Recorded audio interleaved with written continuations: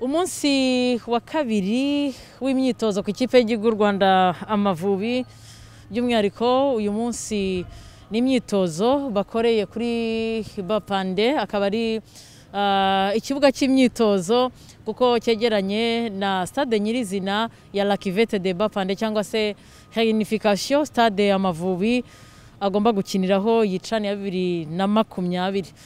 Ni imyitozo abakinnyi bose bari mu myitozo. Ah, nyuma y'aho ku myitozo yabo y'umunsi wa mbere harimo abakinnyi batari barangije imyitozo barimo Nsabimana Eric bakunda gutazira Zidane.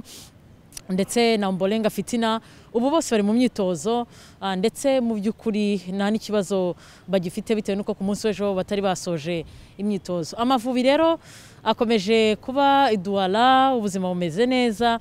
Yaba ari umutoza aravuga ko nta kibazo abakinnyi bafite ndetse ah, n'umuyobozi wa delegasiyo ariko kandi abo dutegerejeho umusaruro nanone ni abakinnyi ese ko ari duwara ifite ikirere cyuje ubushyuhe ko nk'ubu baba bari kuri dogere mirongo itatu n'eshatu ku ruhande rw'abakinnyi kuva bagera i duwara bameze bate? Ikirere kimeze gute? Hanyuma imyitozo imeze ite?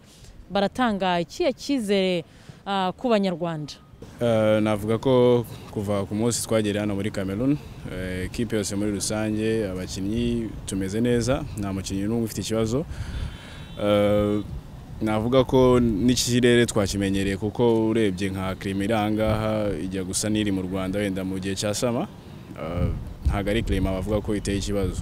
Ah, ngira ngo kugeza kuri aka kanya ekipe y'igihugu iri muri Cameroon ari bo twebwe ndetse n'abaje eh, baherekeje ekipe twese tumeze neza. Twatangiye imyitozo twahageze amahoro ntekereza ko kugeza kuri aka kanya eh, turi gutekereza ku by'imbere ndetse eh, no ku irushanwa twaje gukinira hano. Eh, kugeza ubu ngubu nta mukinnyi urwaye. Eh, abakinnyi bose ni bazima nta mukinnyi ufite indwara n'imwe. Eh, kirima twaramenyereye hano hari hari ubushyuhe ariko muri ino minsi tumaze tumaze kumera neza. Eh, urumva ko ah, buri mukinnyi wese ageze muri mood tu- ya- ya can kandi twese turi hamwe eh, nka ekipe dushyize hamwe.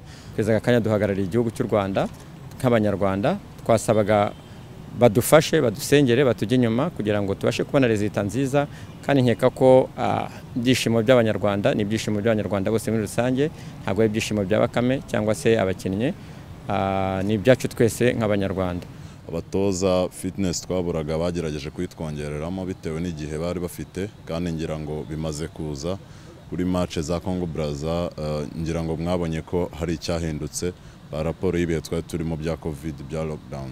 Eh, turi hano kugira ngo tuzabashimishe kandi ibihe byiza ndabizi ko ah, bizatangira kuri match ya Uganda tuyitsinda. Icyo nabasaba ni ukudufasha bakatuba hafi bakadusengera Eh, nk'uko twaje dusa neza nk'ibiranga umunyarwanda uwo ari we wese no mu kibuga tukazitwara neza.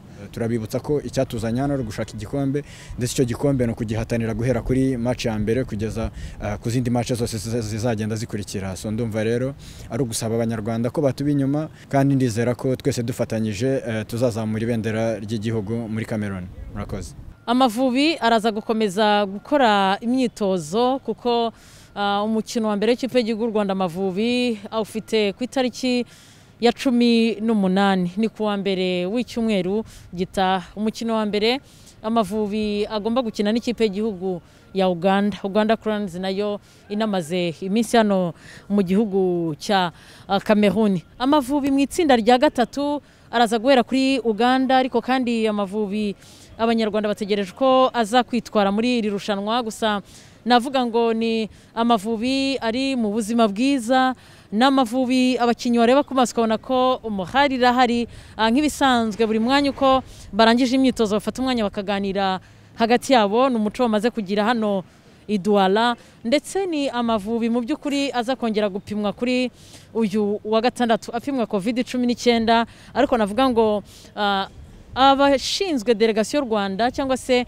uyoboye delegasiyo rwanda ndetse ah, nabo bafatanyije muri uru rugendo rw'iduwara ah, bahisemo neza kuko bahisemo guhagurukana n'ugomba buri munsi yaba ari kuri stade yaba ari kuri hoteli gutera ah, imiti yo kwirinda covid cumi n'icyenda mbere y'uko abakinnyi bakora imyitozo ndetse na nyuma y'uko bakora imyitozo.